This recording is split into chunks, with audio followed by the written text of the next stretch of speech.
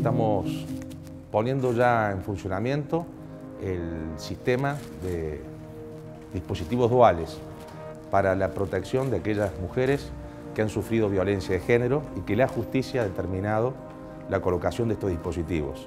Es tecnología aplicada a seguridad.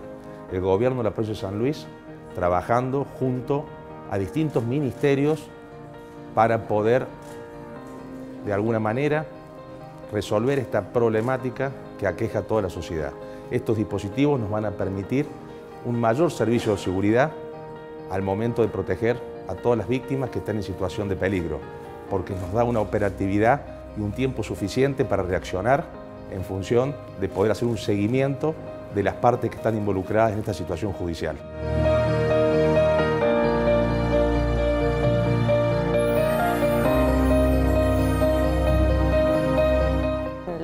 La Secretaría en la cual dirijo y las problemáticas y las temáticas que llevamos a cabo son eh, mecanismos tecnológicos, son herramientas tecnológicas que tienen un funcionamiento espectacular, tienen un funcionamiento mucho mejor que el botón de alerta temprana, que es lo que manejamos a diario. Esto nos permite eh, poder controlar las 24 horas y, un poco cambiar el eje eh, de, lo que venimos llevando a cabo. ¿no? Es, un, es un cambio de paradigma.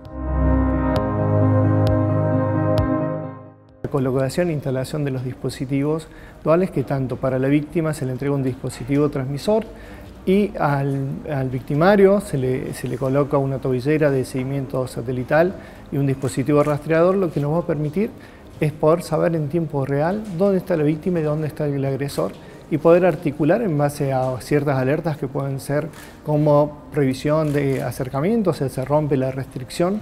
Entonces nosotros siempre lo que vamos a tratar desde el CISPRO es de hacer disuadir a la persona ¿sí? que deponga esa actitud. En caso de algún incumplimiento de una restricción, por ejemplo, se va a accionar directamente con el personal policial en el cual va a intervenir sabiendo la ubicación en tiempo real del agresor y una vez eh, detenida la persona se va a notificar directamente a la justicia. Así que más que felicitar a todos los equipos, tanto el Ministerio de Seguridad como el Ministerio de Ciencia y Tecnología, la Secretaría de la Mujer y también a la justicia por las reuniones que hemos llevado adelante para articular esta tarea. Más tecnología aplicada a seguridad, un mejor servicio de seguridad para todos los puntanos y puntanas.